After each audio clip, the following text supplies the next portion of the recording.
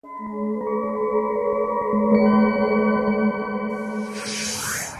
things that I want to do before I get old. A very, very difficult question. Um, the first thing that I want to do is uh, I want to learn Kathak, so one down. Uh, second is I want to buy a Honda City for my dad.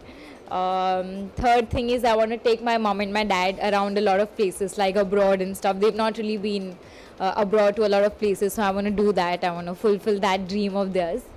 Uh, third thing is I want to be fit always.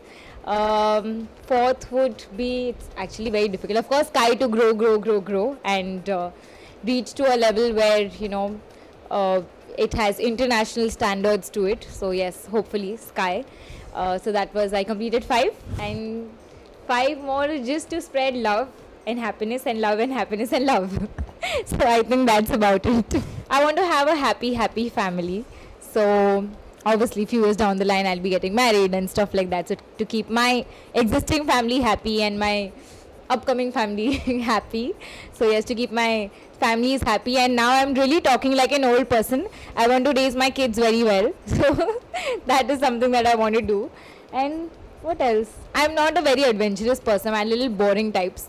So um, I think yes, I want to get back to Bharatnatyam actually. Okay, and two more things left. So uh, first is to perform with Shahid Kapoor. If I ever get, get an opportunity, I would be on cloud nine, or I would probably faint and not be able to perform only. So yes, that would be. Um, and the last one, on a serious note, would be uh, I have a small little dream uh, to teach dance uh, to underprivileged kids under Sky. Uh, you know, because dancing uh, along with just hand movements and leg movements and body movements is a lot about your inside head movements. Like it's a therapy. Dancing is actually like dance therapy. So that is something that I'd like to share with the underprivileged kids. So yes, 10 completed.